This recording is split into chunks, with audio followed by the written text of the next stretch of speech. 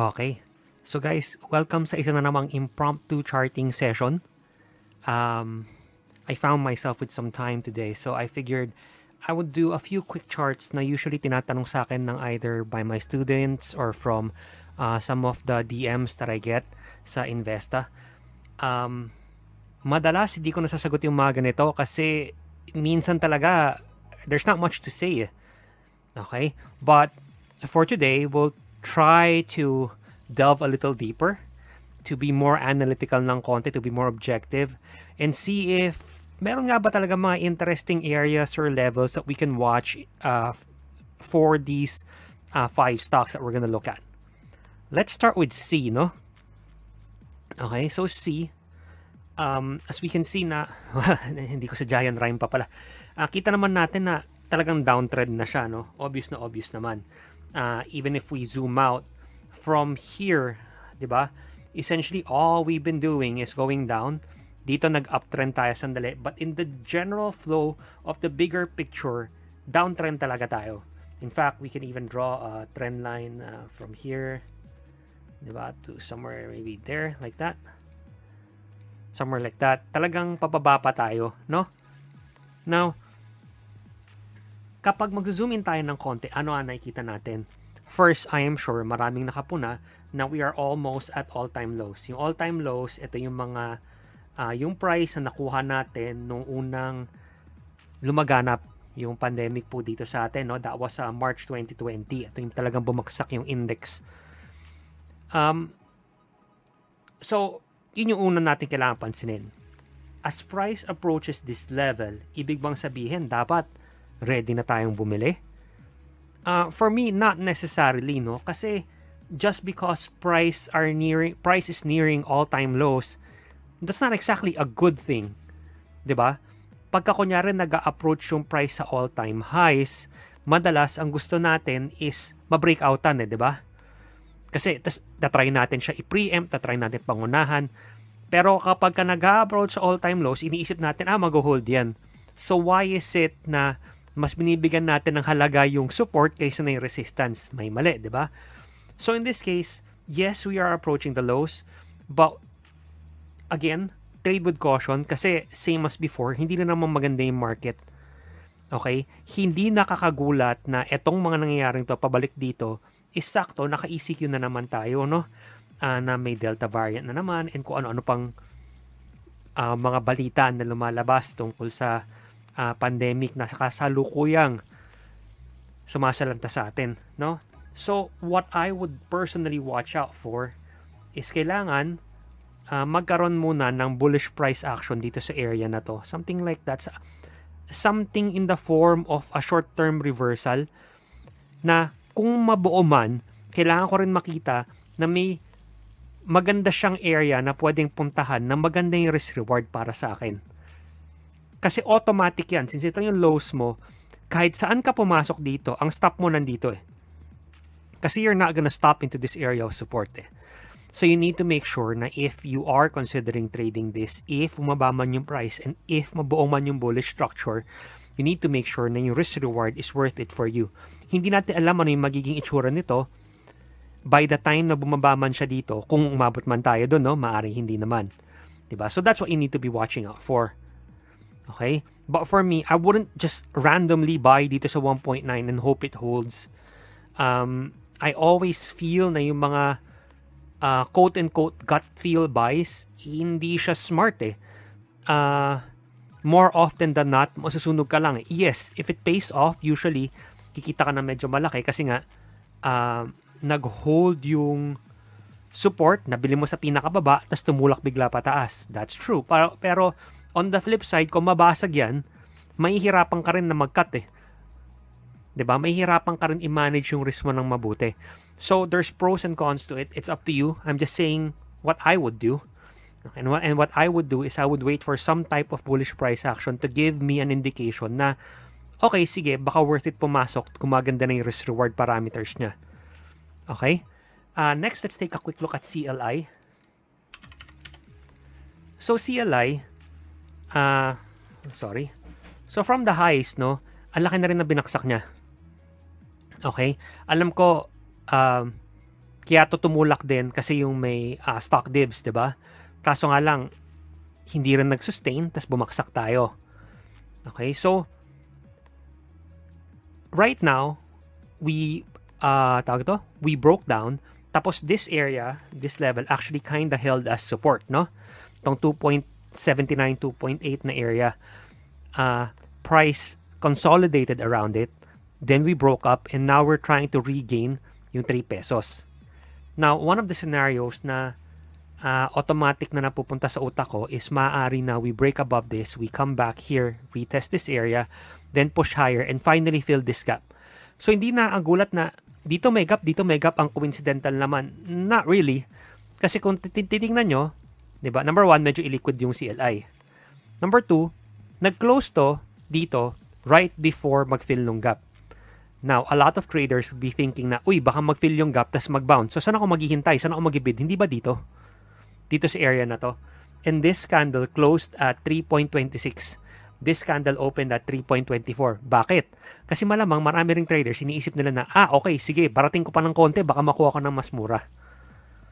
So, what do you think would happen if we did bounce from here, if we broke out, and from here, we lift off? Ang mangyayari, yung mga naipit sa area na to, odds are they're gonna try to get out. So, ako, personally, if I was gonna be trading CLI, and if it was able to break above 3, hold, and then try start pushing higher, I try to get out even as early as mga 3.3 up to a maximum of 3.4. Okay? Uh, however, that being said, yung mga property stocks ngayon, hindi maganda ang reception ng market. Ali, VLL, lahat yan um, medyo pabaksak, no? Medyo hindi maganda. So, there's no reason to think na CLI will be an exception other than the fact na baka laruin siya dahil nga mas illiquid compared sa mga Ali, compared sa mga SMPH and so on. So, you just have to watch out for that fact and odds are, if this does happen, medyo pabilisan yan. Okay? It's not a type of trade that I would personally take, but it is a type of trade I could see people taking. Kaya sinashare ko sila dito. Again, not just for my viewers, but also for my students para lang maganda yung paliwanag ko and nasasagot ko yung mga tanong nilang lahat. Uh, next, let's take a quick look at IMI. Okay. So, IMI, ano ba yung huling nangyari? Uh, last we looked at it, it was up here. Uh, tinitingnan natin if uh, itong mga 9.5 area could have held. Pero hindi, bumulusok lang talaga pababa. 'Di ba? Bumulusok lang pababa. Granted, hindi sobrang taas yung volume ng pagbaba, but still, bumulusok sa pababa. Now, what happened? We broke below tong level na to. Uh, this is 8.52, no? Uh, pakita ko lang. Uh, natakpan kasi siya ng price.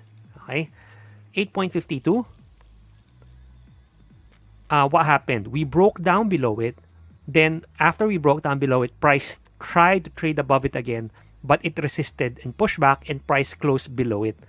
Now, what we don't want to see kung bullish tayo sa IMI is for price to break down further around this level. So, sabihin na lang natin banda dito para maganda. Uh, sorry, nalimutan ko i-magnet. Okay?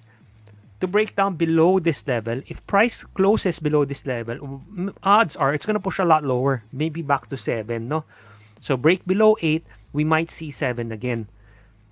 If we can push higher, if we can close above 8.5 with conviction, meaning with volume and with velocity, hindi lang basta 8.54, ganon. Kailangan mga 8.7, 8.8, ganyan. Talagang may volume, malakas. Then maybe we can use that momentum to see kung, okay, uh, kung nag-break nga to dito, uh, can we see a proper retest of maybe this zone around here? May bullish price action ba? Mag-hold ba? Maybe test buy ng konti. Then from there, see if we can target 9.85. Okay? Again, This is not financial advice. This is not trading advice. This is purely educational. And isa lang siya sa mga na-visualize ko na possible scenarios if that does happen. Okay? Uh, next, let's take a quick look at RRHI. So similar sa C, we are actually approaching all-time lows. No? So all-time low ng RRHI is 44. alam ko na sa 49 pesos pa lang tayo, it's still 5 pesos away. We might never reach there. But we are close to 48. Why is 48 important? Because 48, if you look back, is yung initial talaga ng support eh. 44, yes, kasi nag-panic selling tayo dito. Pero, nung pabaksa, saan tayo nakaharap ng support? Hindi ba sa 48? We broke down, we immediately retook 48. Tapos, saan tayo nag-retest? Hindi ba 48 din? Retested 48, then pushed higher from there. ba? So ngayon, ito, broke down, almost touch 48, nasa 48.5 tayo, di tayo umabot, then push higher. But ngayon, it's looking more and more likely na at least we retest 48. So again, similar sa C, I wouldn't just jump in just because na, eh kasi nakita ko do sa video, pinakita na significant level of support siya. ba? Just because there's history, it doesn't mean na it's gonna hold. Okay? We still need to be careful. We still need to watch out. So, I want to see something similar do sa nangyari dito. So, if it does break down, I want to see the level retaken. I want to see it retested and hold. Then see from there kung kaya niyang tumaas. Okay? At least back to this area. Okay? It's not an exciting trade, but depending on how things shake out, it might be a trade na sulit i-take kasi yung risk reward niya maayos percentage wise, it's not the best. Pero risk reward niya, baka medyo okay. Again, I say baka kasi depende lahat yan eh. How things shape out, how the setup forms, how the pattern forms before we can get in and actually take the trade. Okay? And then finally, uh, let's take a quick look at SPC. So SPC, um, we were trading at all-time highs around that area. So wala na yan. No? Uh, dito na. We're, we're trading at the highs. Price tried to break down. It wouldn't let it. Nag-hold tayo above 11.3. Itong level na to. No? Ito yon Galing yan dito. Nag-hold tayo above it. Nag-consolidate sandali. Pataas. You could say na nag-form to ng parang uh, ascending triangle. Diba? Then we broke out from this candle. Then nag-hold tayo so far above this. So what you want to see from now if you are bullish SPC is kapag bumalik siya dito, hopefully mag-hold tong area na to. If there's this area holds and, start, and price starts pushing higher, then we might see it na i-retest niya tong 13 area na all-time high. Obviously, if we can break that, then uh, wala na tayong data, no? wala na tayong uh, previous structure to lean on for support or resistance. I mean, sorry, for resistance kasi nga pataas na lang siya. So, uh, at that point, more of bantayan na lang, watching price action and so on. But, yan yung current structure niya right now. Okay? Uh,